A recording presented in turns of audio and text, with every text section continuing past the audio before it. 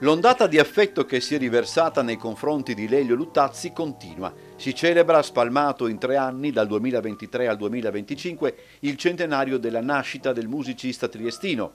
e la figura di uno dei più talentuosi ed intelligenti esponenti della scena italiana è stata ricordata già qualche giorno fa al Teatro Verdi nel corso di un concerto che ha visto la presenza di Danilo Rea. Quest'oggi sono stati presentati tre appuntamenti sostenuti dalla Regione, in programma il 25 maggio a Pordenone, il 27 a Gorizia e il 28 a Udine, e che vedranno impegnati la Friuli Venezia Giulia Orchestra, guidata da Walter Sivilotti, in un omaggio sinfonico ai maggiori successi di Luttazzi. A Trieste, come ormai tradizione, non mancherà l'appuntamento durante Trieste Estate. Ogni anno all'interno del Trieste Love Jazz Festival ospitiamo una serata dedicata al maestro Luttazzi, quest'anno sarà il 18 luglio col trio di Massimo Moriconi, storico contrabbassista e collaboratore del, del maestro Luttazzi e per noi ormai una consuetudine, un piacere ricordarlo e, e risentire ovviamente anche quelli che sono i, i, i, pezzi forti del repertorio del maestro che normalmente in questa occasione vengono riproposti singole, dai singoli progetti musicali che ospitiamo. L'omaggio a Luttazzi prosegue anche a livello nazionale.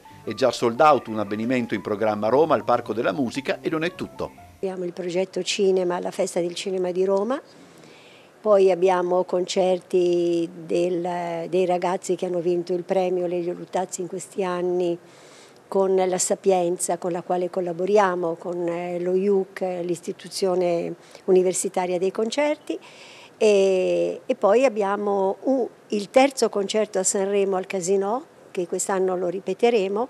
e quindi insomma andiamo avanti, andiamo avanti, si lavora e siamo molto contenti.